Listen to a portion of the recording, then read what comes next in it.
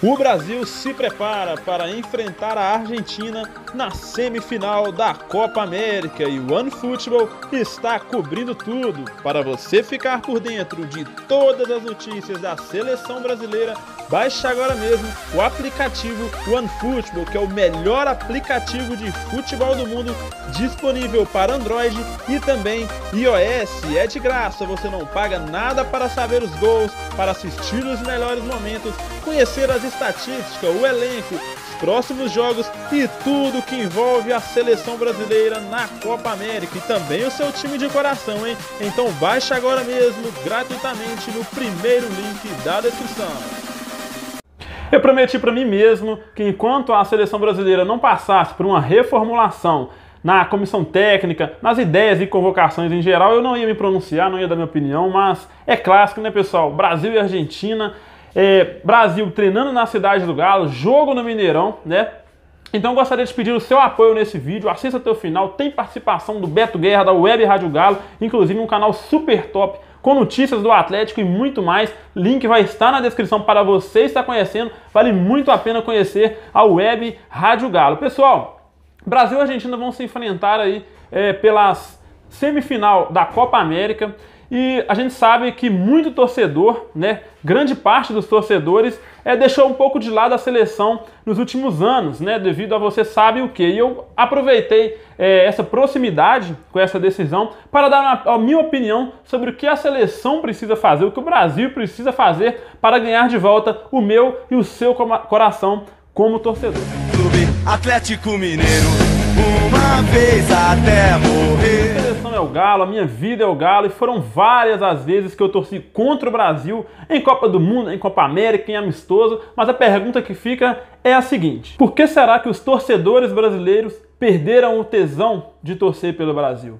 Por que a seleção brasileira não mete mais medo em ninguém? Será que um dia o Brasil vai conseguir recuperar o prestígio entre os torcedores do país? Na minha opinião, são vários motivos e são várias as teses que fizeram com que o torcedor deixasse aquela paixão de lado que o acompanhava desde pequeno quando a seleção ia jogar. O país do futebol virou o país da corrupção e essa corrupção acabou entrando é, para dentro do meio futebolístico há vários anos. Dirigentes sendo acusados corrupção, é, julgados pela FIFA, vários é, times beneficiados em detrimento de outros. A politicagem cada vez toma mais conta da convocação. Jogadores da Europa que já ganharam muito dinheiro, que já ganharam, ganharam quase tudo, que disputaram, é, esses sim, são chamados esses sim vão para a seleção. Raramente um jogador que joga no Brasil é convocado para defender o seu país.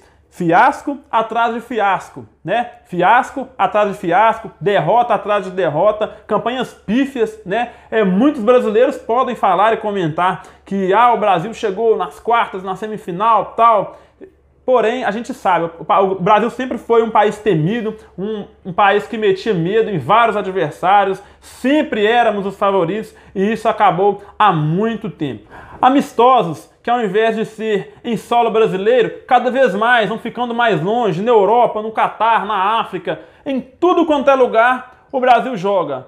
E de menos aqui, afastando mais, cada vez mais, na verdade, o torcedor raiz, que na sua grande maioria está aqui, dentro da nossa nação verde e amarela.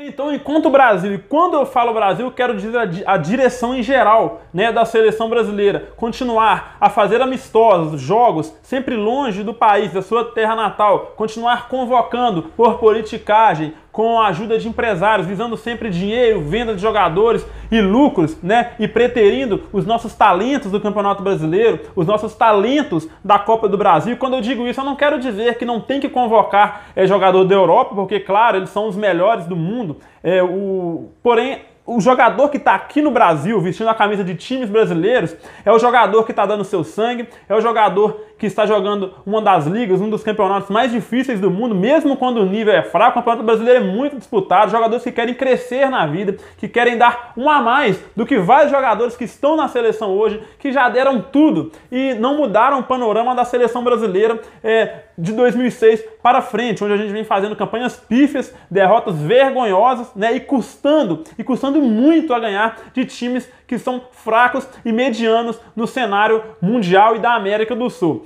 Conforme disse, é, eu gostaria de trazer a opinião aqui do Beto Guerra, da Web Rádio Galo, e eu queria saber a sua opinião, Beto. O que você espera de Brasil e Argentina nessa semifinal de Copa América? Ricardo, eu sou o Beto Guerra da Web Rádio Galo. Prazer estar falando com você do Galo Tube.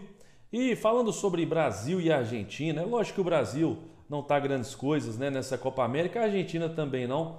Mas eu vejo Brasil e Argentina, fazendo um comparativo aqui, com Atlético e Cruzeiro. Por quê? A Argentina é um freguês, é freguesaço do Brasil, é muito freguês. Assim como o Cruzeiro é muito freguês do Atlético. Então, para mim, isso pode ser que no final a Argentina vença o Brasil? Pode. Futebol não é uma ciência exata, mas o fato é a Argentina treme quando enfrenta o Brasil, assim como o Cruzeiro sempre tremeu quando enfrentou o Atlético. Então vamos aguardar, vai ser um grande jogo e eu vou torcer para o Galo, porque a minha seleção é o Galo. Tá bom? Um abraço a todos aí do Galo Tube. Fiquem com Deus. Um abraço. Então, pessoal, essa foi a minha opinião. Gostaria que você deixasse a sua opinião aqui nos comentários. É muito importante, né? Proximidade aí é, dessa semifinal de Copa América. Brasil e Argentina nos lembra muita coisa, né? É o maior clássico aí, na minha opinião, do mundo quando se trata em seleção. Isso despertou a minha vontade de expor aqui a minha crítica, a minha crítica a esse sistema, a, a esses dirigentes, né? E a todos que estão envolvidos é, o que fizeram com a nossa seleção aí. Deixa a sua opinião nos comentários, se inscreva no canal, deixa seu like no vídeo que é muito importante e até a próxima.